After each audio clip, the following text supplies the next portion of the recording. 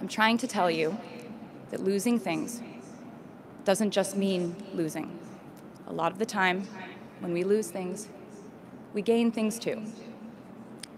Now you leave the structure and framework of school and chart your own path. Every choice you make leads to the next choice, which leads to the next, and I know it's hard to know which path to take.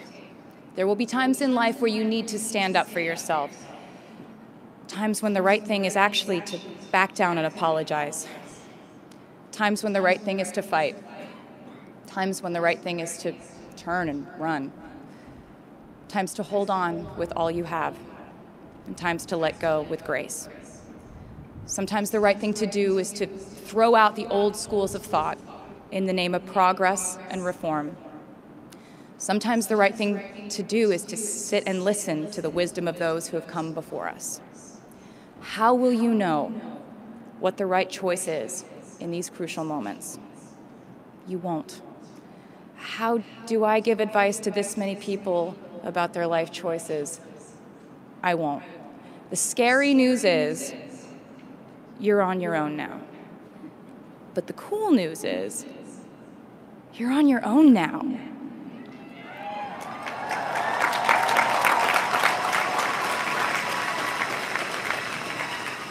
I leave you with this. We are led by our gut instincts, our intuition, our desires and fears, our scars and our dreams. And you will screw it up sometimes. So will I. And when I do, you will most likely read about it on the internet. Anyway, hard things will happen to us. We will recover. We will learn from it.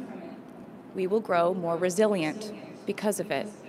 And as long as we are fortunate enough to be breathing, we will breathe in, breathe through, breathe deep, and breathe out. And I am a doctor now, so I know how breathing works. I hope you know how proud I am to share this day with you. We're doing this together, so let's just keep dancing like we're the class of 22.